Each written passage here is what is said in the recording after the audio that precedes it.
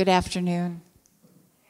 Thank you all so much for joining us this afternoon at the Richmond Arts Center for this wonderful talk with Don Farnsworth.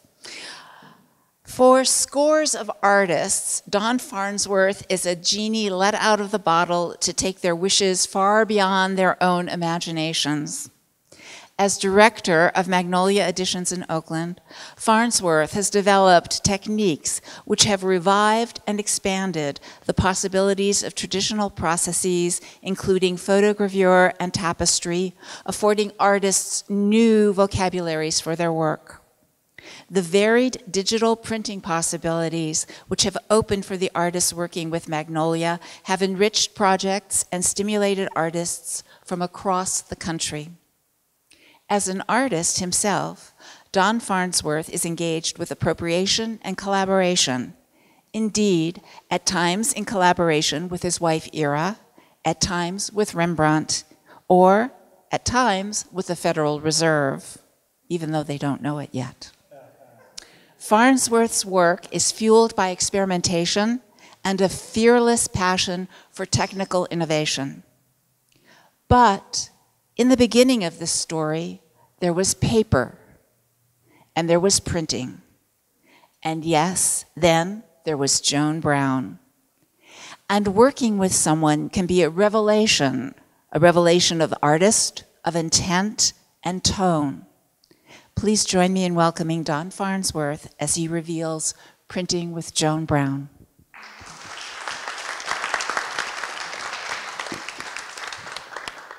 I try and make this app work so I can show you some slides, does anybody have direct contact? How many people here had direct contact with Joan? Great.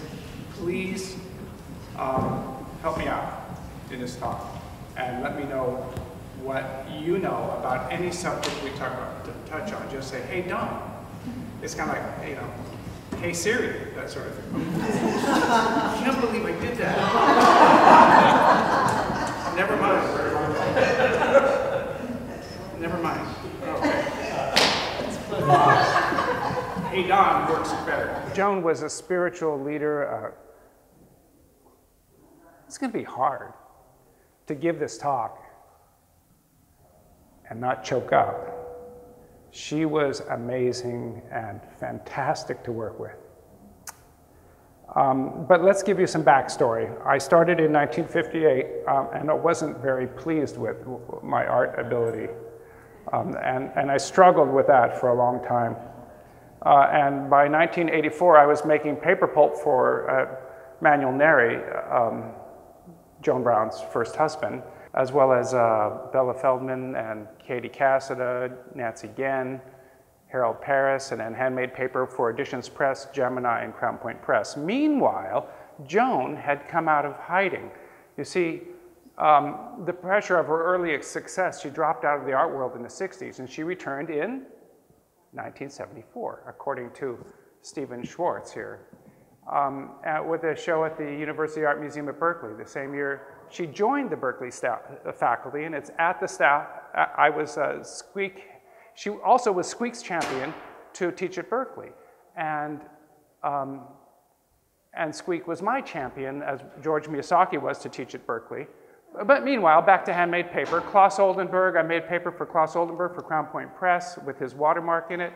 Uh, made paper also for Chris Burden uh, back in the 70s. And um, and uh, John Cage, Crown Point Press. And I moved, uh, I, I, worked at Editions Press as a printer from 74 to 79, built a paper mill in Africa, came back and started a press at Peter Voulkos's Dome. Are you familiar with his big dome-like studio in, uh, on the Oakland-Berkeley border? And that was a good time. Pete was amazing, fantastic. You could choke up talking about Pete as well. And he was a good friend of Joan's. While we were at the Dome, we worked with this artist, Judy Chicago, on the Birth Project, where we made handmade paper. The handmade paper mill was in Kensington, and so we commuted back and forth between making paper in Kensington and working with Joan, uh, Judy Chicago, rather, on the Birth Project.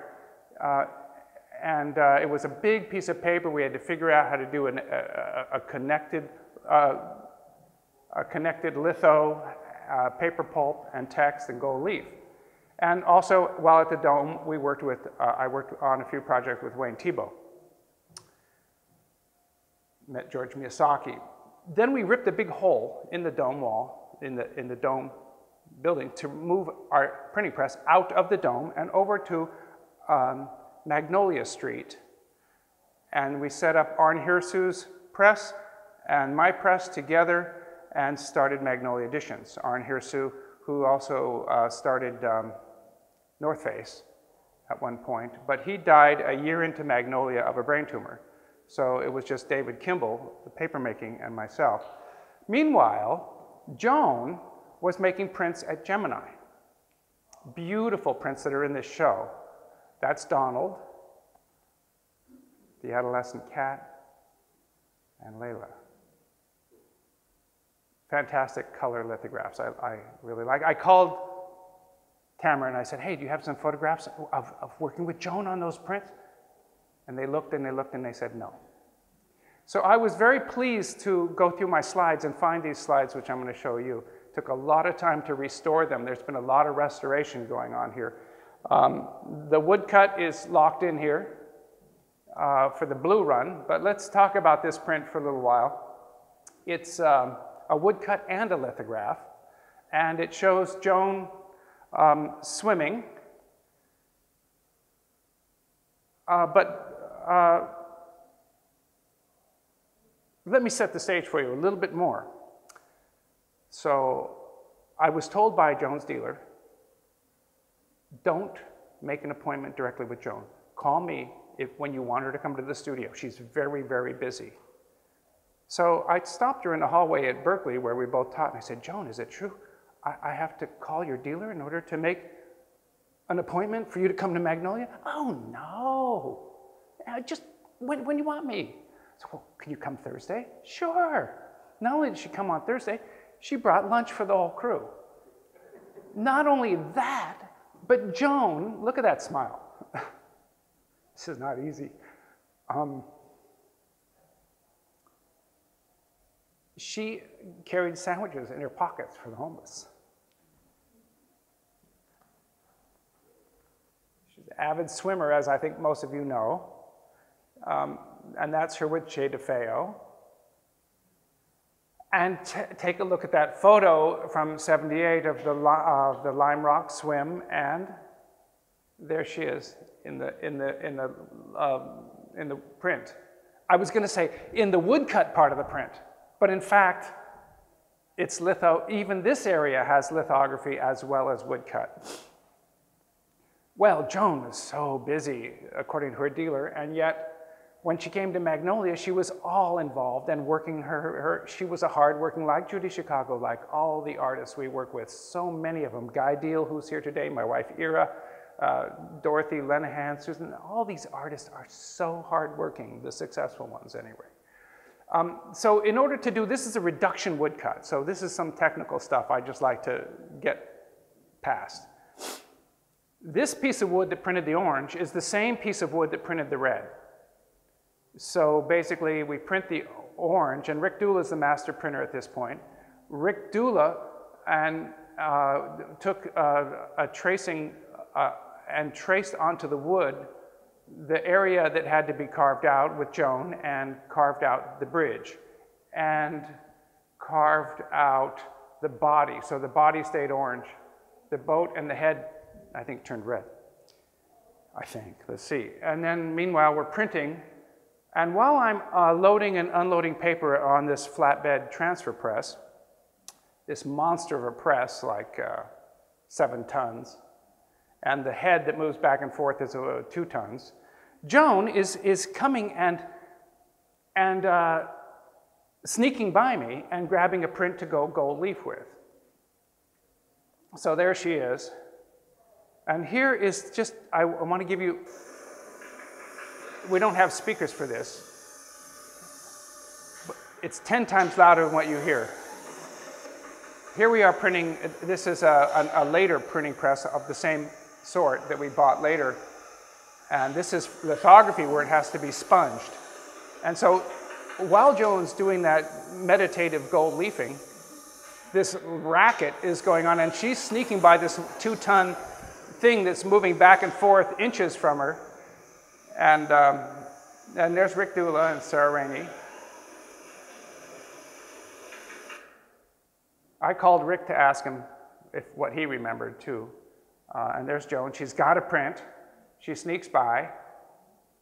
She goes over to the only clean surface at Magnolia. We generally only have one clean surface at a time. and she reaches over and grabs a speck of gold leaf or piece of gold, and she carefully places it onto the boat and takes a Japanese brush, a flat-headed Japanese brush, and tamps the gold onto the wet ink. So it has to be done. We couldn't say, come back tomorrow and do it. It was to be done while the printing was happening so the ink was wet. Now you don't want to get, let the gold blow onto other parts of the print or you get the gold leaf permanently attached to everything. So to do the, the water, um, we had this idea to sandblast the wood. To, well, we had a lot of ideas. We thought maybe we could just moisten the wood with water, and we tried that. That didn't work. You know, that would pull up the grain. Uh, we wound up going around the corner, uh, putting the piece of wood in the, in the dirt, and the guy sandblasted it right there. We brought it back, and it was just happened to be the perfect piece of wood uh, for the grain, for the water, for Joan to swim in. And to swim in and to look at the headlands at the shadow that the Golden Gate Bridge cast on the headlands with what I always thought was her birthmark. But on further research, she was born on the cusp, if you look at the Chinese calendar, of the ox and the tiger, and that's, of course, the lamb and the lion, um, which is, you know, peace, uh, speaking of peace. So I think it all adds up. It's part of Joan's spirituality, and um, and I think we can all interpret it how we like. But the, I could have sworn at the time she told me that was her birthmark, but it's not. She's Aquarius, hence the water might be her birthmark. Um, she, uh, two years before Magnolia, she came to Magnolia to make that print, she uh, visited uh, Copán uh, in, in the, a Mayan site in Honduras, and you can see where she got her influence for the, the zigzag up here, and of course for the uh, Jaguars that are in the border. And those are 100% litho. The borders, the top and bottom border, have no woodcut in them. Uh, but if we look closely, we can see that, yes, this is all uh, drawn on an overlay that we made into an aluminum plate. So it was an aluminum plate lithograph here, and then we registered the black here, uh, the eye, uh, etc. I think the eye was painted in by hand, I'm not sure. And that's, it was printed like this, you know, with a sponge, like you saw in the movie. But, and she, like I said earlier, she was very important to Squeak Carnwath, who we're all going to go see later today and saw last night. I asked Squeak if she could tell me something, but she said, oh, Joan was so important for me teaching at Berkeley. And then from Berkeley, she went to Davis and invited me. I got to teach actually with Squeak and Davis with Wayne Thiebaud at Berkeley, when I was teaching there, we would never go out to lunch together because all the art faculty seemed, from my point of view, to hate each other and wanted to stab each other. But when I got to, to Davis and I was teaching there, one day, uh, I think Arneson said, hey, let's go to lunch. We were also working with Arneson at the time. Let's go to lunch. Yeah, sure. I thought he meant just him and me go to lunch. We were doing prints with Arneson. He meant everybody, Wayne Thiebaud, Hendrix, the whole art department. I said, the whole, we're all going to lunch together? Yeah. I go, oh, in my mind, that would never happen at Berkeley. that was quite exciting. That's, uh, uh, by the way, uh, Rupert Garcia, who also, and the print we made in the same year of Joan's with Squeak was this Hand in Light, which we also did in handmade paper with paper pulp, still expanding, and we still work with Squeak to this day. She's fantastic. We love we love all the artists we work with, and Squeak's one of them, and she's fantastic. And we do tapestries too. And in the same year, uh, Scott Bell, who we met through the Dome, he was a part owner with Pete in the Dome uh, studio. We did woodcuts with, with uh, him, and later William Wiley, uh, Hung Liu, a powerful uh, force in the Bay Area, uh, woodcuts with her, and Richard Wagner, Guy Diehl, who's here in the front row right there, second guy over from the left if you're facing the stage. And uh, you can ask him questions too. Um, and Mel Ramos, uh, I should have used, we also did Wonder Woman, I should have put that up instead of Superman. Um, and we do it a different way. So instead of hand carving as much, these days we rely more on a giant laser cutter to cut the wood. It's, uh, it's easier and it's pretty accurate. And we're not printing on a flatbed press. We got rid of both flatbed presses. It's all over for flatbed presses. That's a, um, as the guy uh, who took the press away said, when I, so much equipment, so many chemicals, so much technology, turn of the century uh, industrial revolution technology, he said, I said, man, look at all this stuff. And he said, if you want to play, you've got to pay. And it was a rich man, uh, it's a rich man's game, is what he was saying for lithography. It's, it's a terribly expensive. Anyway, etching is fantastic and we can do so many great things. And we have new Thai style printing presses now with Mildred Howard, very experimental things, printing on metal and canvas and paper and acrylic. We can print on acrylic now. And we can go crazy with Deborah Oropallo also, printing on wood and doing some really incredible experimental things using a four by five by eight foot flatbed acrylic printer with UV cured lights. You can pour methyl ethyl ketone on this stuff, and we wanted to dissolve these salt, these paints so we could mess with them as artists will want to do in general. We, there is no solvent that will break the cross-linked polymers of acrylic. Now acrylic, it's easy to dissolve, the acrylic you buy in the art store, but this kind of acrylic, this acrylate, which is UV cured, forget it. There's no solvent. So it's very permanent, and it's the same, it's the same uh, paint used for, uh, pigment used to paint cars. So it lasts in direct sunlight, direct sunlight, for three to 10 years. So it's pretty amazing stuff. Now there's this Bruce Conner connection. I worked with Bruce Conner, and there's this Bruce Conner connection with um, Joan as well. Rat Bastard Protective Association, and Bruce named himself as the president, and it had these artists in it, uh, including Joan Brown, Bruce Conner, Jean Conner, Jay DeFeo, and Wally Hedrick, Wally and Manuel Neri, and Michael McClure.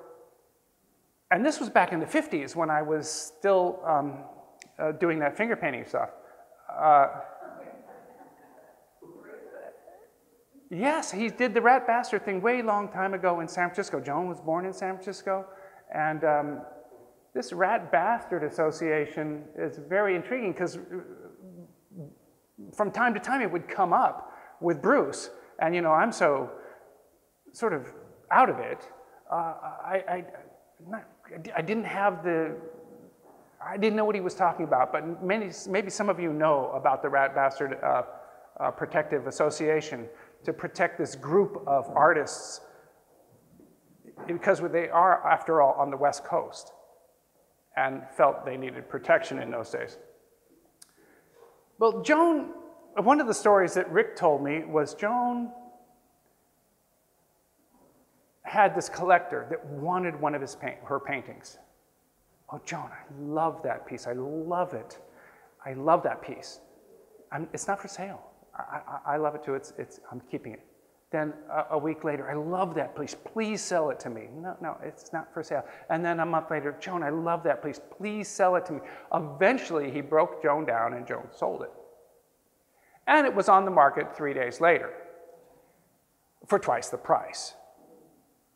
So Joan was uh, somewhat, as, as the story went around Magnolia, even when she was there, she was somewhat disillusioned with the art market and was focusing then at the time on um, public art, which uh, are incredibly beautiful pieces. Here's a detail, ceramics. And this one, you'll see this tiger there, lion rather, and we did a print with Joan with three plates, deep embossment, for all the people that worked on her project. So she gave this print, she got it out of the budget for doing that obelisk, and she was such a generous person. Um, that uh, this was a giveaway print that she gave to all the work. It's a pretty big print too, it's not small. And you can see the embossment, and we did some white on white ones too. This is fantastic. And uh, there's Rick Dula and Joan looking with light passing through it on a light table for some reason. I'm not sure why. And we did this raccoon piece, which was also for a fundraiser in 1989. And then Joan died in 1990. You see the guy jumping into the abyss there, and you see it reminded me of this uh, tombstone from Paestum that I happened to photograph many years ago. The Indian authorities announced that two American members of an ashram both from the Bay Area, were also killed Friday in the accident that claimed the life of renowned San Francisco artist Joan Brown. Bonnie Lynn Minerick, uh, 43, of San Francisco, and Michael Oliver, 25, a Santa Cruz comedian, died with Joan, who was 52, when a concrete turret from the floor above collapsed while they were installing a mosaic obelisk at the Heritage Museum in India. Uh, so I was told by Noel and others that um, they were installing the obelisk while the construction was going on. And it had rained that night, and the, there were building materials that had been put up onto the roof to build the turret. And uh, the weight of that, combined with the weight of the water from the rain, is what caused the collapse. And then Noel said that when he saw, was it Ira, was it photographs of Joan or what, did he actually fly there? I'm, I think he said, I think. Yeah, I think he went there. He said I, he expected grisly, horrible, squishy sort of things to have happened. No, there was an air pocket and it was absolutely collapsed and it just pushed the air out of Joan's lungs which is not great, but I'm just saying she wasn't really crushed. Uh, anyways, we too got into after Joan, we, and Joan was such a supporter of Magnolia. I mean, I thought, I mean, it was amazing to work with Joan, and we were thrilled, and she was supportive of our own works of, as artists, and just like she was of so many at Berkeley, I thought, okay, we made it. I'm going to work with Joan for the rest of my life. Shit happens. But we did uh, also come to Joan's conclusion that public art is a, definitely a good thing to learn how to do. With the San Francisco airport, we worked on these projects. That's Mildred Howard's uh, uh, San Francisco Airport saltpeter piece. And then this is a, a portion of Hung Liu's piece. Um,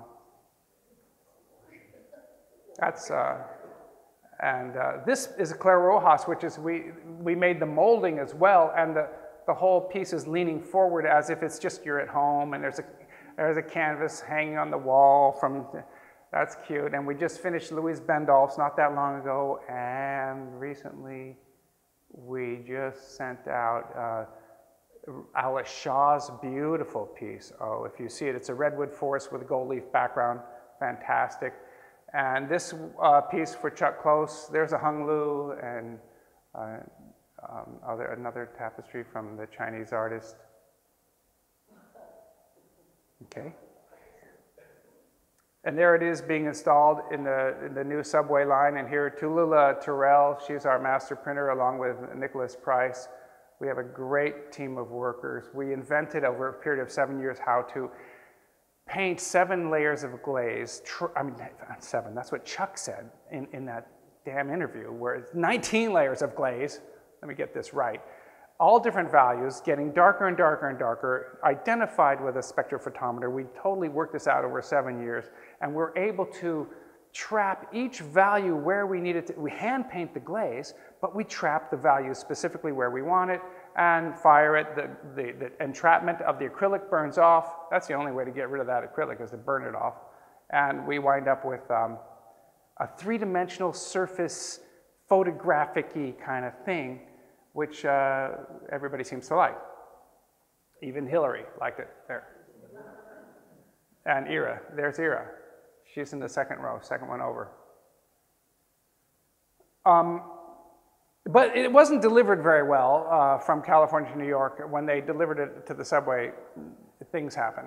You never know what's going to happen. But luckily, we pra- and then Tallulah had to fly out and go through each one individually.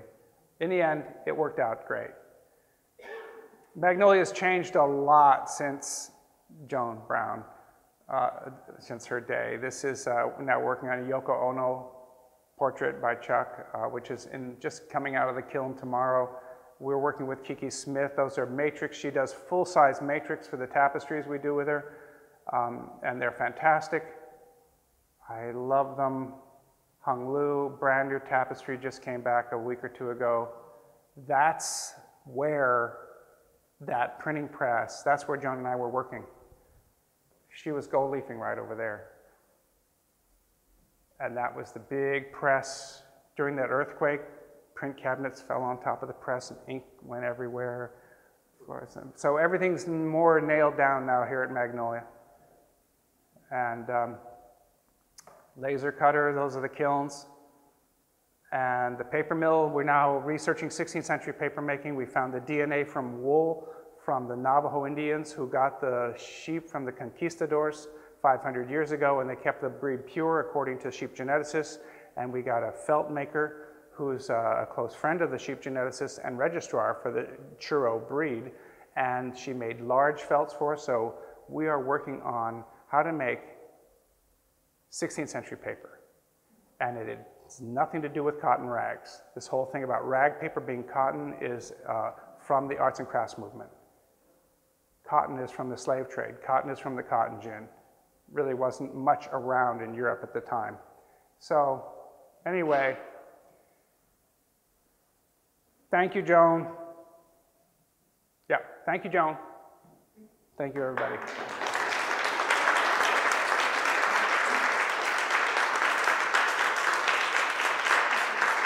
Thank you.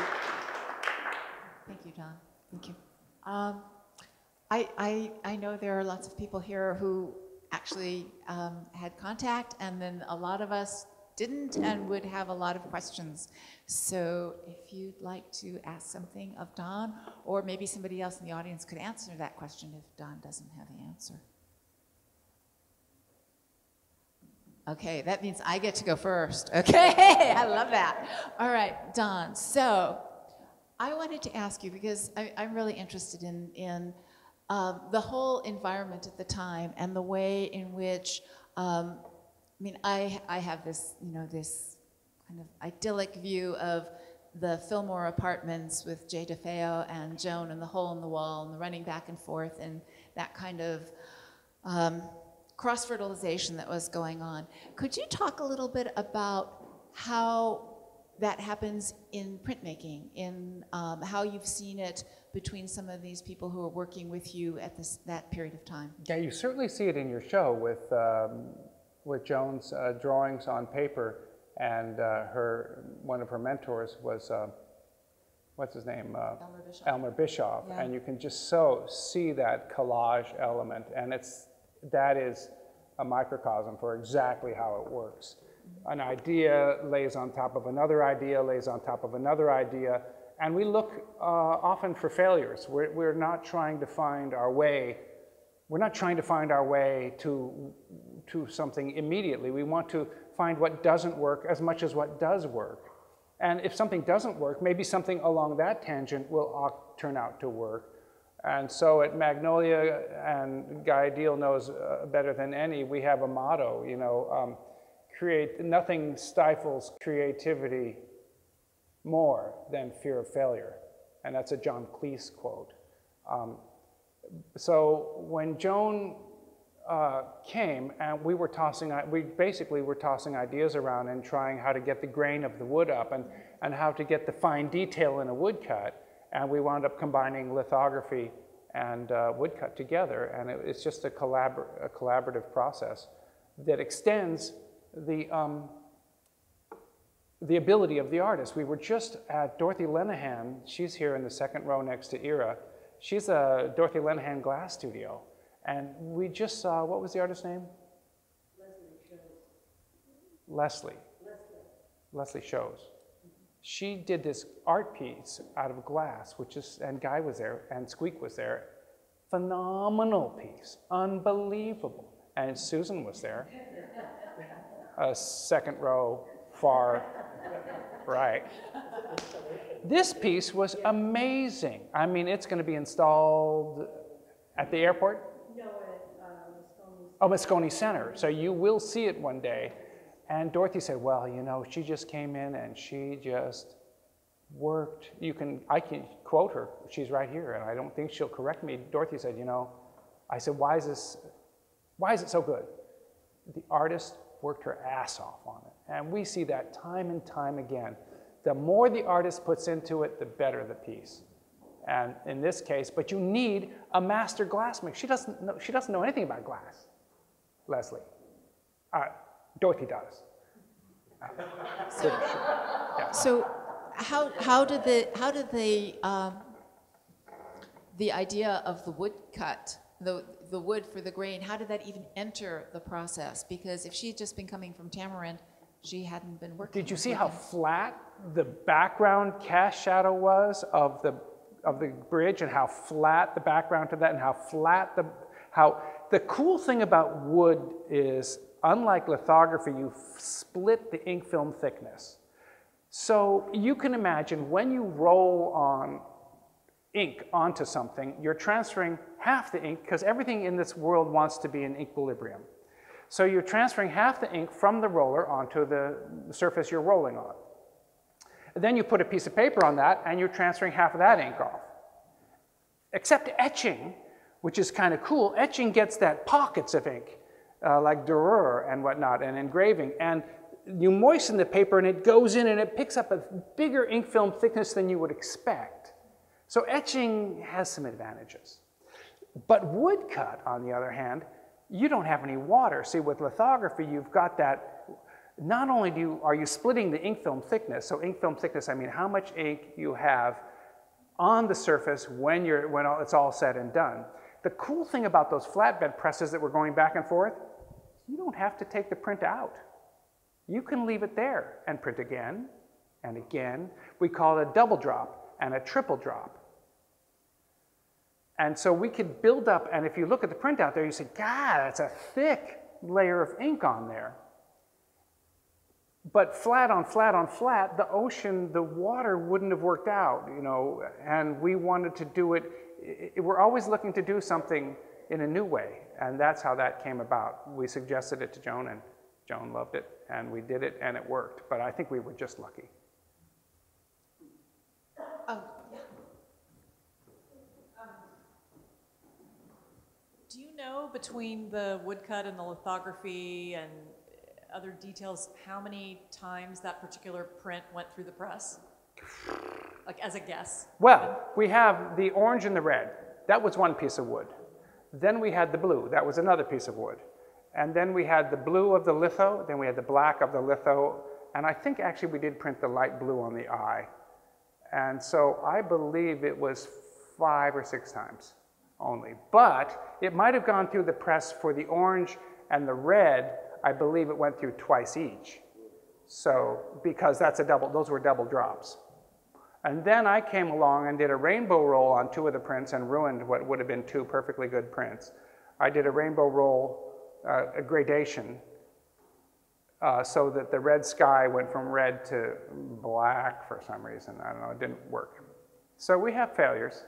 Well, I, that, I that, that's interesting because should have showed you those. Yeah, but it, it brings up the fact that you're working so differently than if you just had one plate and you, and you could proof it and you could work on it. Here with the reduction on the wood block, you're sort of, that's it. Well, we're second generation uh, printers here. I mean, uh, from the arts and crafts movement, with, notwithstanding the arts and crafts movement, we have Crown Point Press, Gemini, Editions Press, and, um, and Tamarind. And so it's like, well, they, not so much Gemini, but certainly Crown Point Press and Editions Press, they were what they were. We do lithographs, we do etchings. We don't combine those things, we don't experiment. So that was the room for a younger generation like myself. I'm young. Um, for a younger generation coming up, that was actually our, our foot in the door was to try to do experimental printmaking. Come to think of it. Anyone else? I just I. I'm going to keep asking questions until I see a hand go up. So my next question is, was there a kind of daisy chain effect where there was someone you remember who came in and worked and a friend of theirs, another artist came Oh. in, saw them working and then came in? Could you talk a little bit about so-and-so Yeah. begat so-and-so begat? How do you how do you invite artists? Well, while I was at Editions Press, uh, I did a side project with uh, Bob Bechtle and with uh, Peter Voulkos and uh, Sam Tchakalian, who was my teacher, who gave me honors at the Art Institute. I'm happy to say. One day, just as a side story, um, does anybody remember Sam Tchakalian? Yeah, every other word was fuck, I believe, in his vocabulary. You can beep that out. Um, we had a drawing class at, in that when you walk into the Art Institute on the right-hand side, there's a big studio and they had tables all around. And, uh, and uh, I had uh, had uh, two drawing teachers at the time. I was 17 when I was at the Art Institute, uh, uh, when I started. And um, I lied about my age so I could see the naked women uh, in the drawing classes because it's illegal for a 17-year-old to see that. Not to die in Vietnam, more or less, but to see that. And because I had a high school friend who was a registrar who said, Don, you can't say your age. I go, why not? I said, tell him you're older, which is what I told my wife too um, later. But um, we had put our work up, and for, for Ron Titus, the drawing teacher at the time, I had drawn from the figure and drawed as, uh, drew as, as best I could, you know, rel- relatively traditional drawing. But for Sam Tchakalian, I knew he was weird, so I painted the props and the, and the model's foot, for example. You know, he would bring stuffed animals in. And one day he had us put all our work up, the whole 40 of us, and so we got about three or four pieces up each, uh, all around the classroom. And he's looking around with his clipboard, and somebody walks, just like through your doorway, somebody walked by, hey you! And the guy stops, what? Get in here! And some expletives. Me? Get in here! And, and Sam would turn red when he did that. And the guy came in, yeah? Do you see anything in this room you like? And the guy goes, what? Could you just look at the pieces on the effing wall and tell us which ones you like? Oh, okay. I, I, I, I like that one and that one and that one. Get them out of here. Get out of here. Get out of here. And I go, oh, shit, he chose my work. Oh, no. And then Sam says, whose work is that? no. What's your name? You got honors. Whose work is that? It's a friend of mine. You got honors. And that's how I got honors at the San Francisco Arts. Later, I worked with Sam. Later, Sam and I became friends, and I worked with him, not because, uh, not because I was his student so much, but because somebody told somebody we had, did this project with Peter Voulkos and and and and Mel Ramos and different people. It just it all just piles up on itself, and then and then an artist will say, "Whoa, I see you did this piece. You know that would work really well for my work." And then they would come in and you would start. You would start on a whole new line. And the funny thing is, when I worked at Editions Press, one time we needed a really talented artist to come in and do some, be a chromatist, which was to draw for another artist who couldn't draw very well. And I was, what, when I worked at Editions Press, it was the 70s, so I must have been 12 or 14 years old. And Guy Diehl comes in to be the chromatist. And that's when I first met him, when he was, I think, uh, you know, 1977. So we were both what? In our 20s, in our early 20s, actually. Um, and, and then ever since, now Guy comes to Magnolia every Wednesday and uh, helps uh, uh, on his own work. We're doing an etching with him now uh, that's looking really good. And uh, and so once we start working with an artist, it, it just sort of continues. With Chuck Close, it was just, uh, we presented him with an idea for, Chuck Close I went after, I got it in and, and we became very close friends, especially he likes Ira better than he likes me.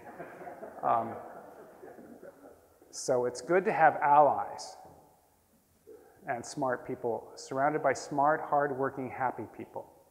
This is the, the, the, goal of life. And Joan was one of those. She was so, she was such a breath of fresh air, so not concerned about the art world and money and all that stuff. She was just there to make artwork, and it shows in the work too.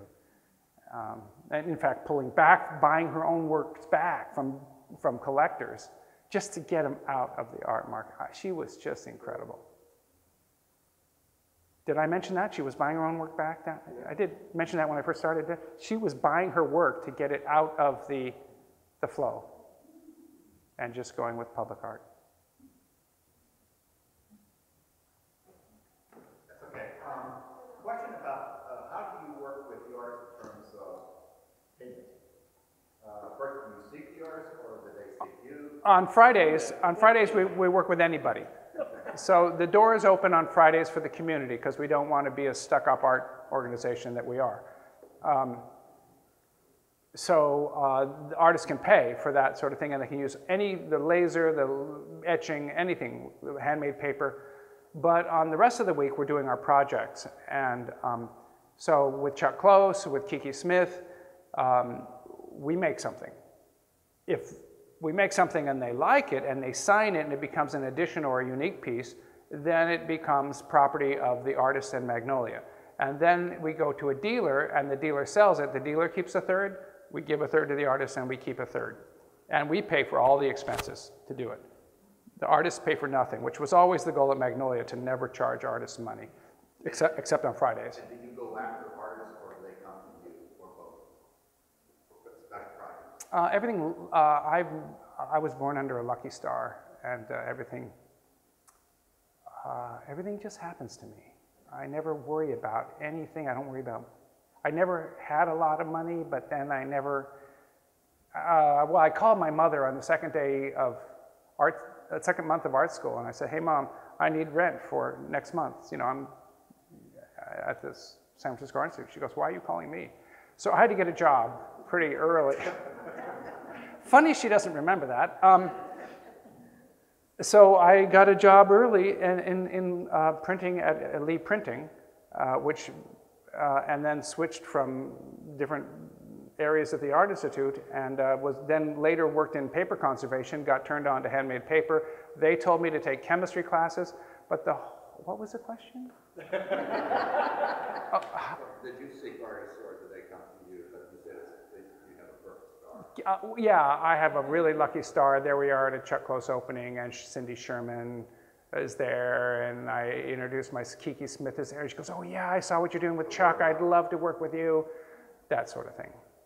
Um, Did Joe Brown start when she started making prints? Was it started at Magnolia? No, she was. The earlier prints I showed you of the cats were from 1983, and that was at at uh, Tamarind.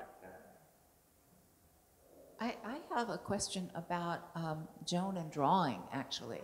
Um, because we have some really wonderful little drawings that she did um, on scraps of paper, ballpoint pen, whatever was at hand. I've seen um, in the Bancroft Library, in the archives, in her archives, drawings that she did just on her deposit slips with her, um, with her, her um, checks, you know, the little deposit slips in the back when you're waiting. She was drawing on those. I mean, drawings on anything and everything. So. And her letter so, says she ran out last scrap of paper. yeah. That's the last scrap of paper I have. Absolutely. That is Michelangelo's story. Yeah. He never had enough paper. He drew on everything. And I just went to, I just gave a, I gave a talk, but more importantly, I listened to talks at the um, Renaissance Society in Chicago, and this guy from Italy took these Michelangelo drawings and writings and he separated the two in Photoshop.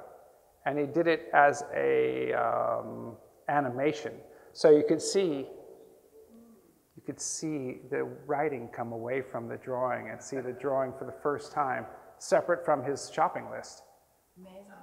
So, so my question is, while she was working with you day after day, was she pulled away from the printing? Was she drawing also? No, she was um, so no taking care behind? of the people around her. She was unpacking her sandwiches from the bag and she was feeding people. She was just this loving, forget about it, loving person. She was unbelievable. and, and told us this. Then someone else told us the story that she always had a sandwich on her for the homeless. I, it wasn't something she told or advertised. Uh, I've heard that story too. I've I mean, it's also. like- And also that she worked in a, in a soup kitchen, I think, Yeah. regularly, also, yeah. Yeah. And, and Squeak isn't here with us today, but Squeak told me a story about Joan, and that was, there was a position at UC Berkeley that was coming up, and um, Joan actually told Squeak that she should apply for it. She encouraged her. She really gave her the support to do that, which she then did and got the position. But that that was that was really extraordinary at that time for um, not just for an artist to help another artist, but for a woman to help another woman in a position like that was really extraordinary and always appreciated by by um, Squeak and very special. women are going through a hard time right now, or, or, at least we're finding out about their hard times on with hashtag Me Too or something like that. I mean, it's really sad, so sad. And uh, so I, I did, to some extent, try to make this uh, the, the presentation a little bit to show you. Well, there were a lot of artists came through Magnolia who happened to be female. We never thought of it that way.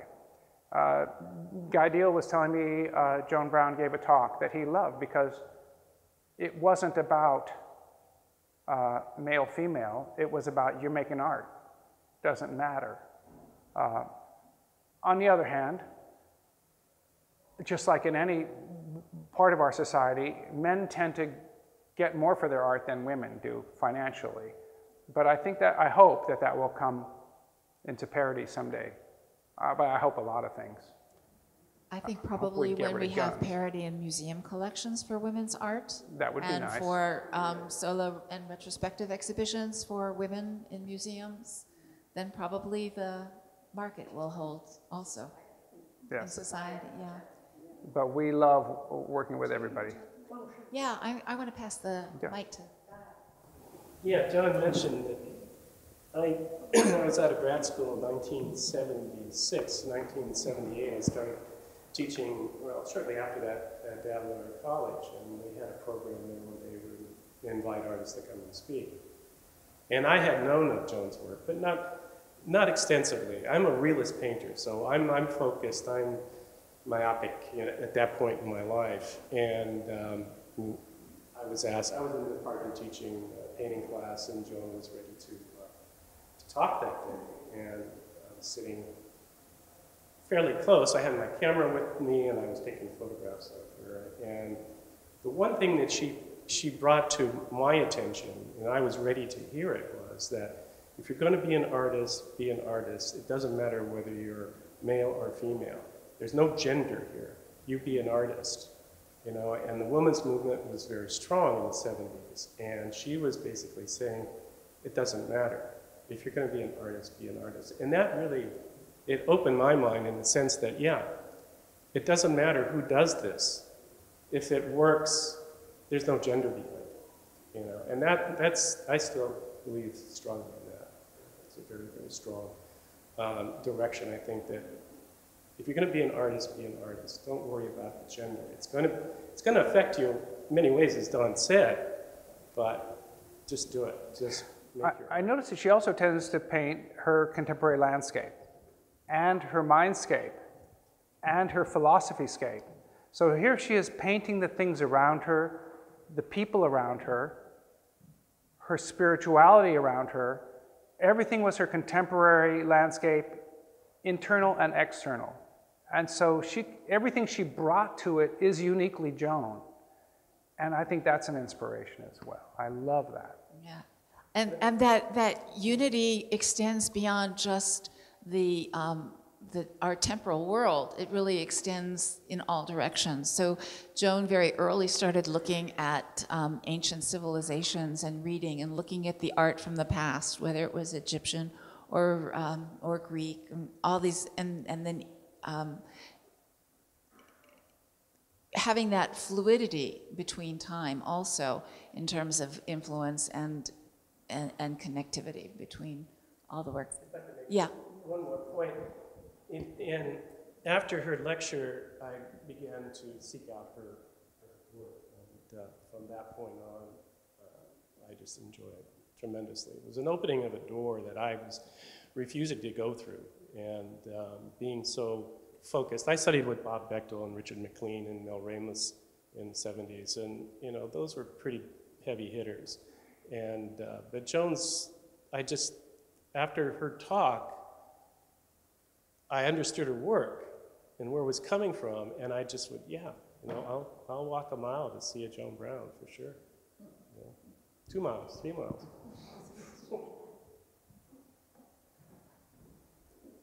Or to smoke a camel. Yeah.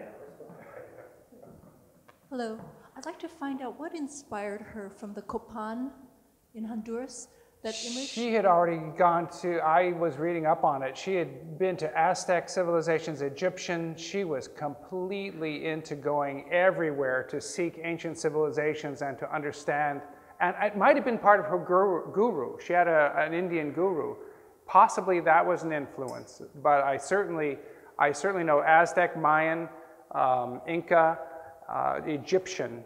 A- And the very first slide I showed um, was there were all these iconographic uh, things in the background that weren't Mayan because the Mayan thing came later. So it was very interesting that, that it was, like I say, her contemporary landscape. She went to see something, oh, and she, she held on to it inside, and, and then she painted herself in the contemporary world, but with these icons around her. It's really fabulous. Thank you, everybody.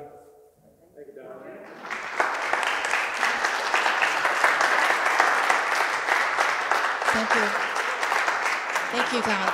Thank you so much for um, being with us today so generously. Also, Don and Ira have lent three pieces from their collection that are in the exhibition. They are also reproduced in the beautiful catalog, which um, we have. And uh, thank you all for coming. We hope that if this is the first time you've come to the Richmond Art Center, that we will see you again very soon. We have a mailing list, we have wonderful programs, and we hope that you will join us and become a part of the Richmond Art Center. Thank you. Thank you.